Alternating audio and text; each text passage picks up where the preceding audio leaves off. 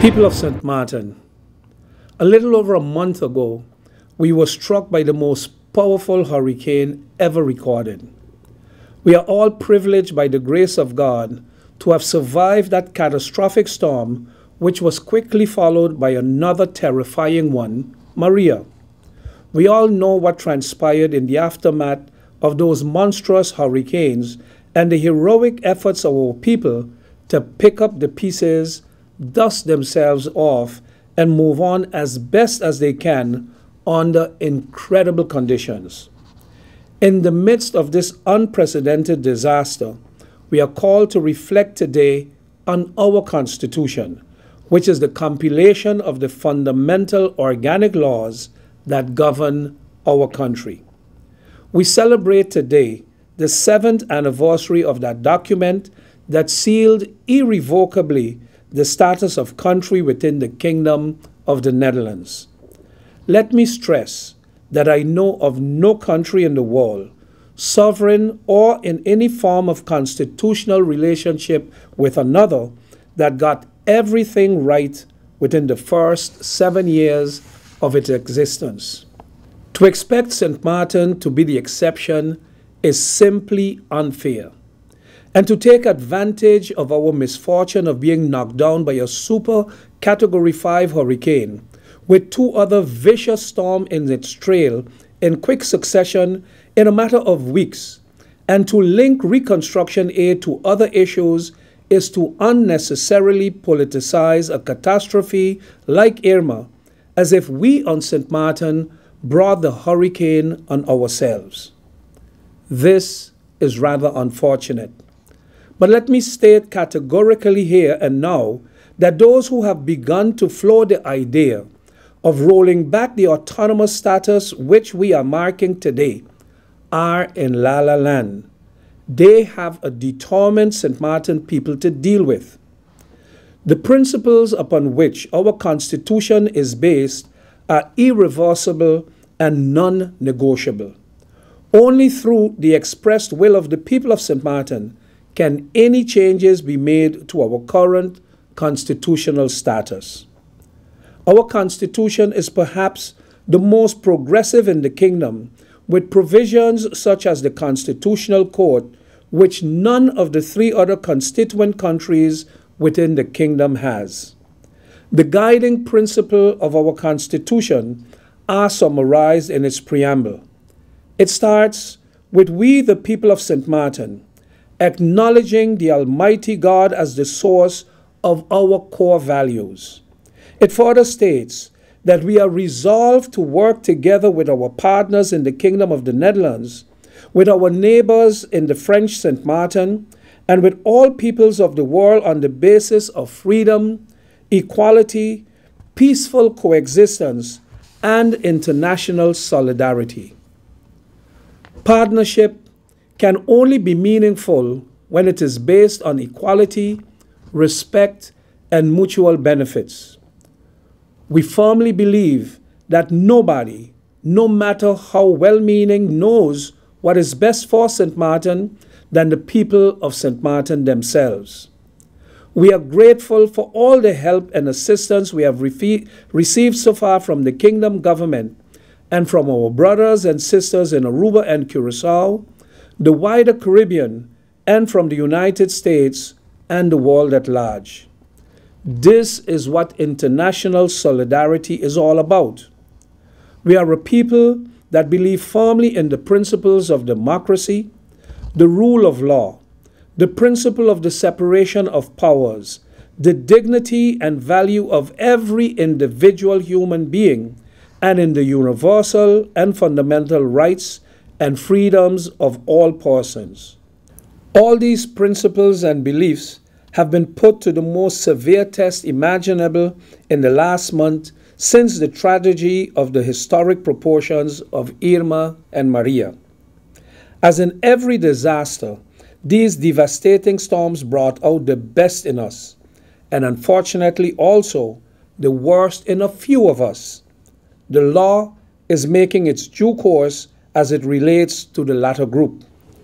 However, the real story in these dark days is the legendary resilience of our people who once again have shown the world that not even the most powerful hurricane in history can knock us out.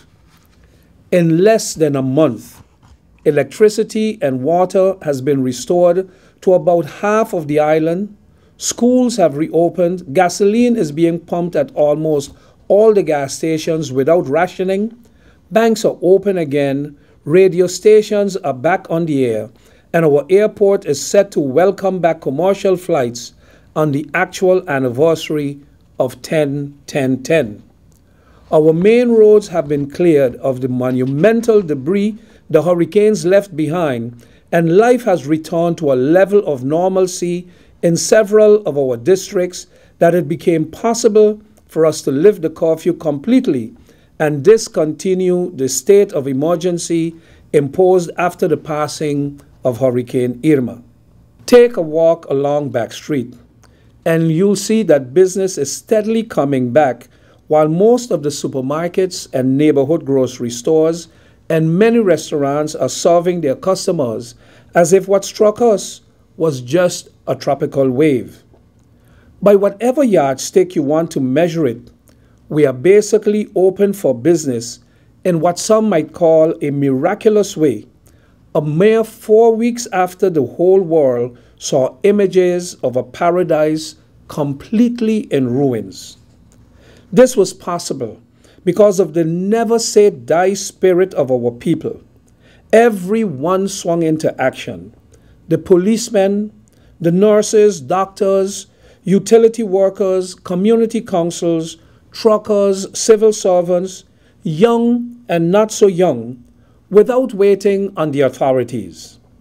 Of course, God has been with us through it all, with nature smiling on, our, on us by very quickly restoring a fresh, lush, and beautiful green over our mountains that were laid bare by the storms and allowing trees and plants that were stripped naked to sprout leaves again. It is as if nature wants to underscore that part of the preamble to our Constitution that states that we as a people are resolved to provide for the continuing preservation of nature and the environment. If that is not a miracle, then what is? All of this does not mean that we are where we want to be or that we are back to paradise again. Far from it. There is a lot of work ahead of us. We have to rebuild our economy. We have lost about two thirds of our hotel inventory housing will be a serious challenge as so many roofs and residential and business properties have been totally destroyed. The environment itself will require special attention, even though some of our beaches have been declared safe to swim in. Certainly, unemployment will also be a major challenge.